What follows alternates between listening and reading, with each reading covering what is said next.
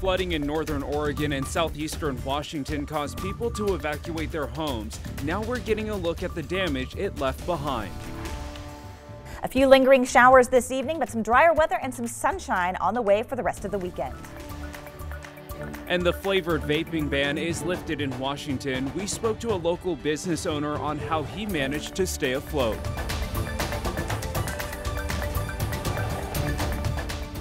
Good evening. Thanks so much for staying up late with us tonight. I'm Tim Pham. Let's get right to the video here on the wall. We'll show you what's going on. Flooding continues to sweep across southeastern Washington and northeastern Oregon. We'll go ahead and show you that up close because the video is just incredible. The impact from yesterday's storm left places like Pendleton, Oregon on your top left of your screen severely damaged. Some cars stalled in waters and homes and neighborhoods were evacuated. Meanwhile, back here in Washington, Dayton and Walla Walla were under a flood warning until this morning. You can see in the Walla Walla area, the rivers had some heavy currents. Meanwhile, in western Washington, the rain has dialed back a bit, but there's a greater chance of landslides. Meanwhile, shelters are also popping up in central Washington as flooding prompts evacuations there. There's an American Red Cross emergency shelter at the Walla Walla Fairgrounds. Responders can provide assistance with food, clothing, and anyone who needs help. And uh, those being evacuated are being told to only bring the essentials like prescriptions and emergency medication. Meanwhile, Crystal Mountain will be remain closed throughout the weekend because of the concern for landslides. So that area, we're told near State Route 410, there's no estimate on when that will reopen. We'll of course continue to update you throughout the weekend.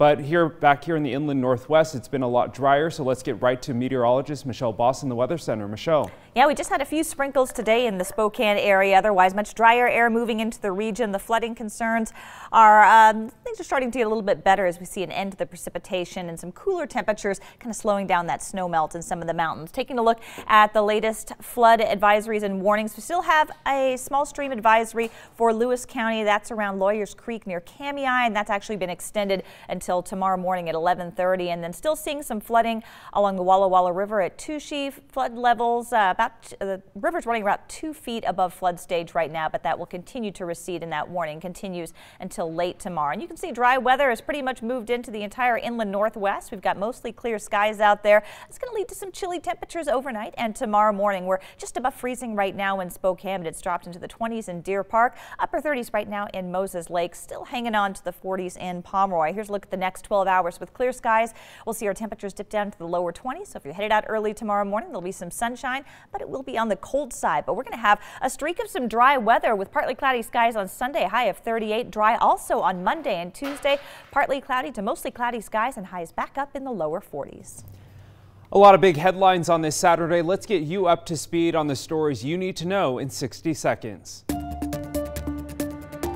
Spokane Mayor Nadine Woodward outlined the changes she hopes to see in the city over the next four years. The four key issues in her speech on Friday included homelessness, housing, economic development, and public safety.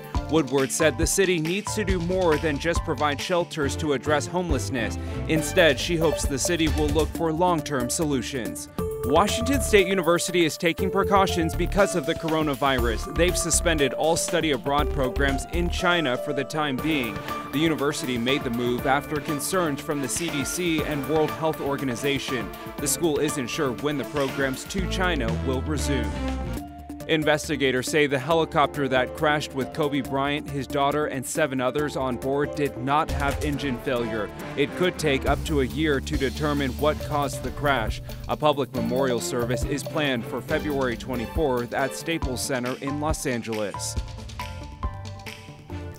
Vape shops all around Washington are rejoicing this weekend after a ban on flavored vape products was lifted after four months. KREM 2's Brandon Jones explains how one shop downtown managed to stay open during the ban. And what it really did is affected our business uh, immediately. We didn't think it was going to have such a big effect. That's John Dawson. He's the owner of Kung Fu Vape in the U District downtown, and he says the temporary ban on flavored vape brought his shop some problems. The business took a hit foot traffic started slowing down. As soon as people found out they couldn't buy those products, they were only stuck with two options. He says that led people to either buying their go-to products online or driving across the state line into Idaho to pick up different vapes. A lot of his customers are from out of town, so they walk into his shop unfamiliar with the state laws, and he had to let them know there weren't any of the flavors in stock. But now, February 8th, we're, we're back in business.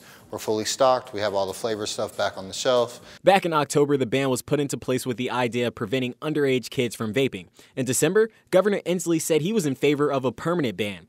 That temporary ban lasted 120 days, and since then, the legal purchase age for any tobacco or vape product was raised to 21 years old in the state. For shop owners like John, he knows the rules and regulations are something that's always going to change, but he's trying to stay ready for anything. Because we don't want any issues. We're trying to run a business and make money, feed our families. From Spokane, Brandon Jones, KREM 2 News.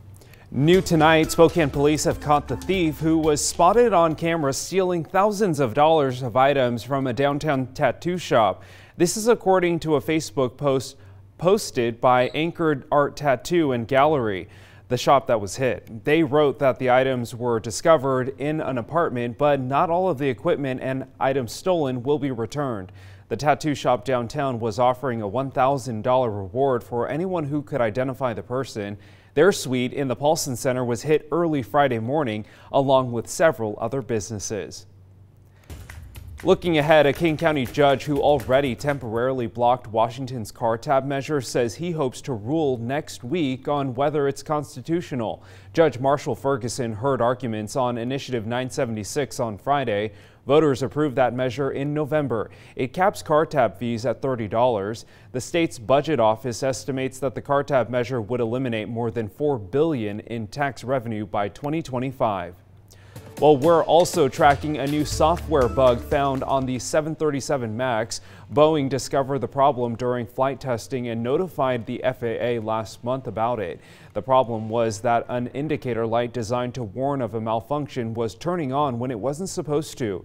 Boeing says this latest flaw shouldn't delay the plane's return to service, which the company hopes will be this summer. Natural Grocers is opening a new location on Spokane South Hill. It's set to open February 19th. It's at the corner of Southeast Boulevard and 29th Avenue.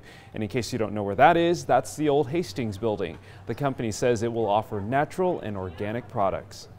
On to sports now. Gonzaga men's basketball thumped rival St. Mary's 90 to 60 tonight. Karthik Venkatraman joins us now. Karthik, this game was essentially over in the first half. Yeah, they took care of business pretty quickly. They Killian did. Tilly came back into this game for Gonzaga. Yeah, he was out the past couple games with that left ankle sprain, so it was good to see him back and him and the rest of the team were just cooking tonight. it was just easy money for them. The Zags were layup shortly thereafter. You're going to get kick out from Admon Gilder, Corey Kispert in the corner. You know that's true three points right there. First half and we're up by 25 at the break. And as we mentioned, they won by 30 points. I mentioned, and you saw Killian Tilly was back tonight. As you can see, the ankle looks pretty fine, as you can see on that dunk right there. It didn't look like he missed a step in this one after missing the past two games. 19 points on 70% shooting tonight. So, yeah, the Zags rolled. They dropped 30 point win over St. Mary's. A lot of people thought this game was going to be close, but hey, Gonzaga looked really sharp, and they were able to they, they were able to stop St. Mary's early too. So good win. Now next Saturday is their next game. So They're going to go next? play Pepperdine. And that's going to be a tough matchup for them on the road because if you remember, January 4th, Pepperdine came into the kennel and gave Gonzaga quite a bit of run for their money. No one thought that that game was going to be close, and it came down to Killian Tilly getting that game-winning block to really seal the deal. So we'll see what these two teams are able to do when they meet back up here next weekend. All right, Karthik, thanks so much.